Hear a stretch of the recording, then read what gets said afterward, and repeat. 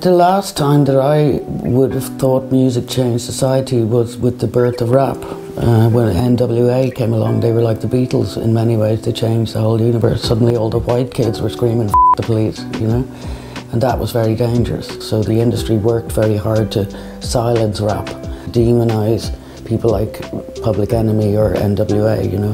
Eminem as well was a very important character. You know, he expressed a lot of the anger that, that mm, sort of disenfranchised, for want of a better word, white kids were feeling, you know. He definitely changed the world a bit, yeah.